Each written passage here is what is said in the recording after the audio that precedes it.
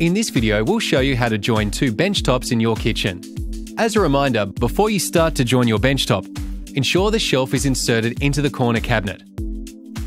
Place the two bench tops to be joined in position. Keep in mind that if your walls are not perfectly square, the bench top can be planed at the back for a better fit if needed.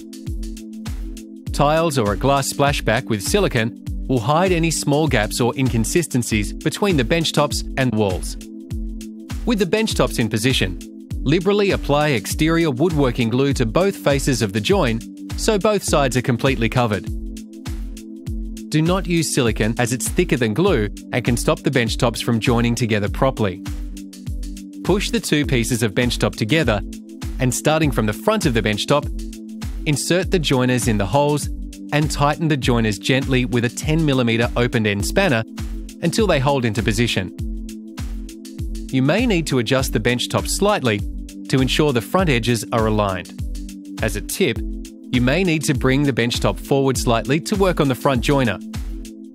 If this is not possible, drill a 50mm hole through the top rail of the cabinet to access the joiners. Continue to tighten the benchtop joiners in succession, ensuring they're secure but not over tightened. You may need to gently tap the benchtops with a rubber mallet to ensure they're flush. Once the benchtop is flush and all joiners are in position, continue to tighten the joiners so they are secure, but be sure not to over tighten, as this may cause the benchtop to crack. Once the benchtop join is completed, wipe away any excess glue with a damp cloth.